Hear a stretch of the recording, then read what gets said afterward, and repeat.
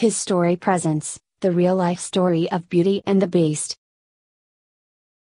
Everyone knows the animated Disney story of Beauty and the Beast. However, the modern version of the classic tale, written by French novelist Gabrielle Suzanne Barbot de Villeneuve in 1740 and made famous by the 1991 Disney film, may actually be based on a real man and his family. The story behind Beauty and the Beast is embodied in the tragic life of Petrus Gonsalvus and his astonishingly beautiful wife Catherine. He was born in 1537 in Tenerife with a rare condition known as hypertrichosis, commonly referred to as werewolf syndrome. At just 10 years old, Gonsalvus was given as a gift to the new King of France, Henri II. He would stay there for more than 40 years, under the protection of the king and his wife, Catherine de' Medici de Valois.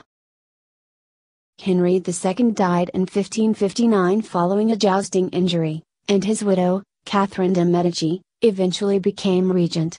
Catherine de' Medici decided that Petrus should marry, to see if more wildmen could be produced. She chose as his wife another woman called Catherine, whose last name is unknown.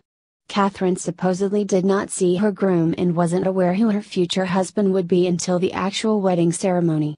Petrus is believed to have been in his mid 20s at the time. The couple, unexpectedly for the Queen, fell in love and settled into a happy and caring relationship. They had their first two children soon after marrying and both were born healthy. The Queen was openly disappointed about this fact. Her wish did come true eventually, their next four children were all born with hypertrichosis.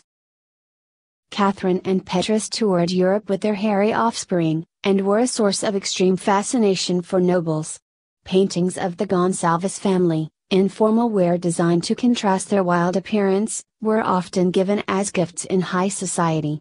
The Gonsalveses settled for a time in Parma, Italy, under the financial care of Duke Ranuccio Farnese. Catherine is believed to have passed away in 1623, after approximately 40 years of marriage. Petrus is thought to have died in 1618. The location of Catherine and Petrus' graves is unknown, but their memory lives on in multiple portraits of the unconventional couple.